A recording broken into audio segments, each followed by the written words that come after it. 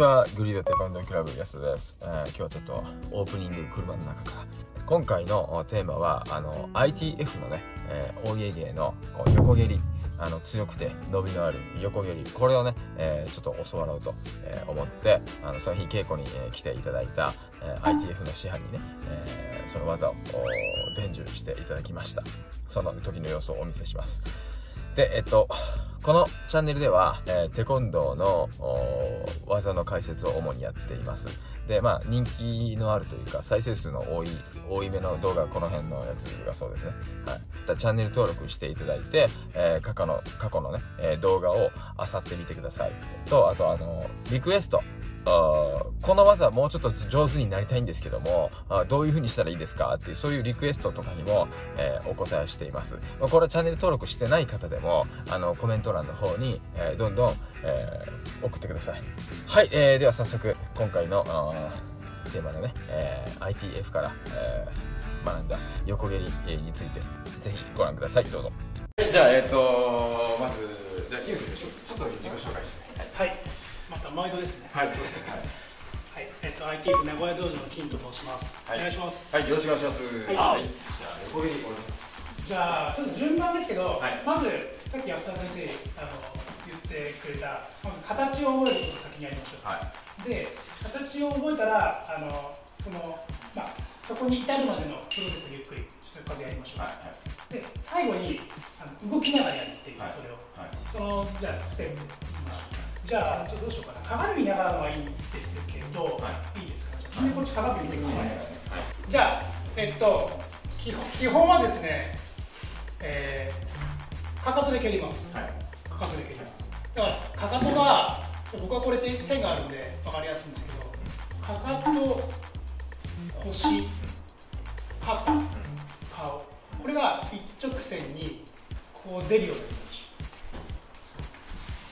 でかかとを突き出して。それでシャーを見る一番のポイントは軸足ですね。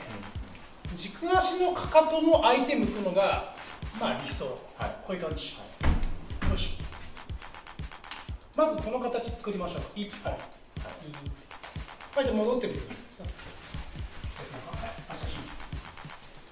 いはケツつりそうなの軸足の肩、えっと、そうそう、軸足こっち見て、そう。そう、おーいいね。はい。ちょっとか各自じゃあ、30秒ぐらい、ちょっとこういう経過でこういう感じですね。で、これはあの、理想の形っていうかそういう感じ。はい実践になるとやっぱそこは、ねはいリカバリーとか、はい、はい。いいです。じゃあ、えっと、次の流れ。手をこう置いてくれる。これをじゃあかかとこっち向けて膝をかかいくるこっち見たらちょっとかかってますはいゆっくり押してください。ぐーこう力を入れる感覚を覚えてください。軸足が伸びちゃうとこっちの足でしか蹴れないので軸足曲げといて軸足を伸ばしながらそうそうそうそうするとこの力がこっちにじゃあちょっとえっ、とじゃあ私で大はいはいじゃあ先にじゃあそうあいいよ。じゃあ一人ずつやろう確かにかかとを上げるでしょ。ね。そう。ねさっきもちょっと言われてたけどここはこことここはちょっと曲げといて。グーってピッと蹴ってきます。はい。あえっとじゃあこうですね。さっきのこう起こして手も起こしてあちょっとちょっと待ってもうちょっと近くでいい？ここで軸足を押しながらこう蹴りますね。これさっきやったことです。じゃあこの距離であそれだと痛い。こう手添える感じはい行きます。ここから蹴る。ポンって感じでね。あこれちょっともらいたいもらいたい。やります。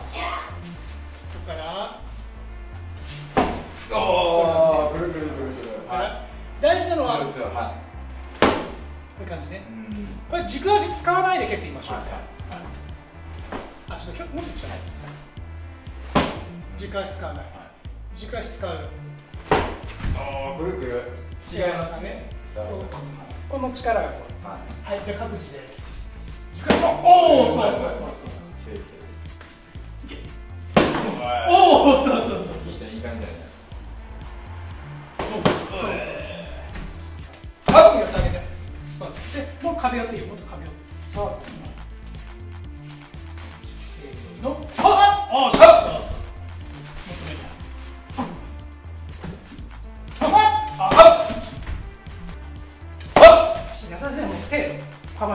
後ろの手もあの取ってあはい一回置いていい置いたところからパンああそうそうそうです少しショットして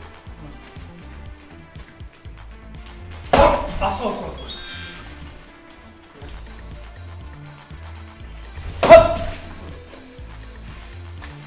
で最後にちょっとこれだけやりますと、これ一番難しいのが横弦の難しいところって何か回転系は頭がこう前に行かないですよあんまり前蹴りもまあこうです横蹴りはさっき感性がやっぱり働くんで突っ込んでいくとこうやってなる。だ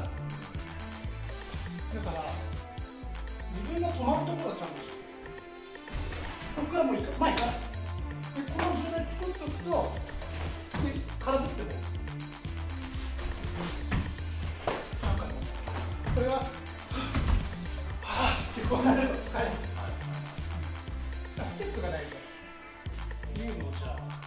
自分の言った勢いでその突っ込んでしまわないように。する突っ込みすぎるとあの当たればいいんですけど当たらなかった時に代償が大きいじゃあラスト5本だけちょっと遠めの距離あうんあーそれがい。いかじゃあいいよ他で前進まなくていいあそうお今のかった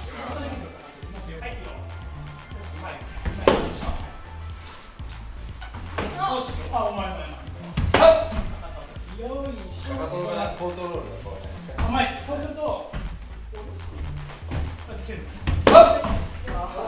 今のは入っっ。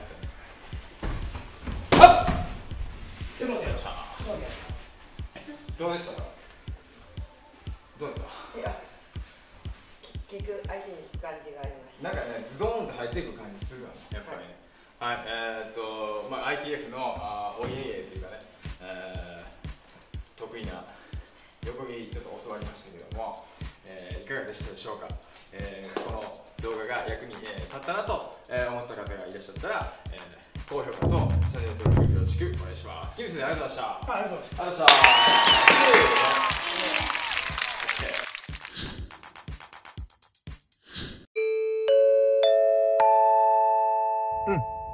い、かがでしたでしょうか？えっ、と、今回は僕はほとんど説明してませんね。はい。ほぼやってもらうっていう、はい、感じでしたけども、まあ、たまにこういうのもいいんじゃないでしょうか。えー、ちょっとお知らせです。えっ、と、今月、今週、今週末の、だからえっ、と、日曜日ですね、日曜日。えっ、と、これ多分金曜日の夜にアップするんで、えー、なんで金曜日の夜かっていうと、あのーまあ、一番そこが、こう、人が見やすいかなっていうのと、あと、まあ、これやってる、見てる方はね、なんか空手とかテコンドーとかやってる人多いと思うんですけども、あの、金曜日の夜って、えーまあ、稽古がもしあったとしたら、帰りしなの電車の中とかで、えー見たりね、えできるし、えまあ、その辺がいいかなと思って、金曜日の夜に、えアップするように心がけてます。うん、で、えっ、と、今週末、日曜日の、8時半から、夜の8時半からね、えーライブ配信で、えーをやります。で、えっ、と、お題は、あえー生徒集客、道場の生徒集客、このチャンネルの視聴者さんが、えーそういう、こう、30、40代、3、40代のね、えー男性が多いってことで、まあ、おそらく指導者さんいるだろうと。で、実際いる、いるんですよね。うん。